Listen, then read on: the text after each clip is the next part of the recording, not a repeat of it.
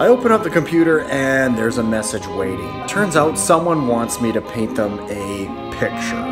Uh, I like doing that. She says she's a local pastry chef who trained in France, so she wants a little bit of France, she wants a little Canada, and her pastries.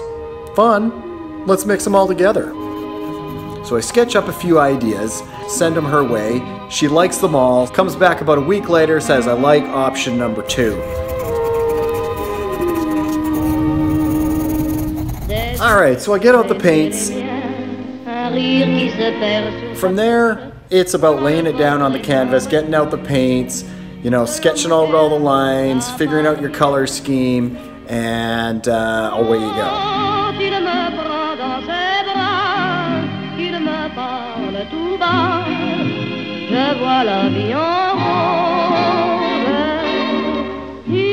During the planning process, she sent me a few pictures of the space that it was going to go in. So I kind of knew the colors, I kind of knew, you know, her style there, and customized her painting towards that.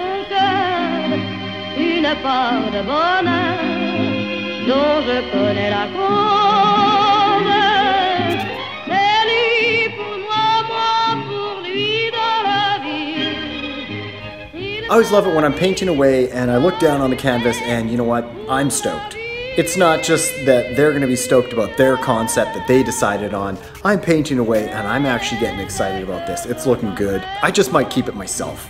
Then I realized, no, no, no, no, wait, this is her idea. This is a commission for her. Okay, fine. D'amour à plus finir, un grand bonheur qui prend place.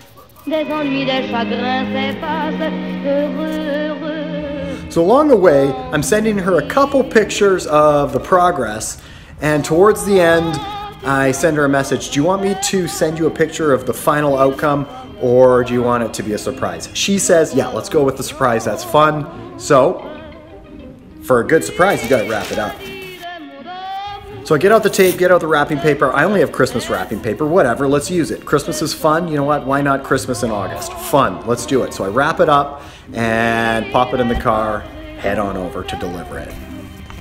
You see your present? Who isn't excited to rip that sucker open? She rips it open and. Oh, I love it! It's so great. Thank you so much. Oh man, she loves it. She loves it. Awesome. That was amazing. Thank you so much. And it looks good in her space too. It all came together, it all worked out perfectly. I am excited for her to be sitting around with some friends, enjoying that piece made especially for her.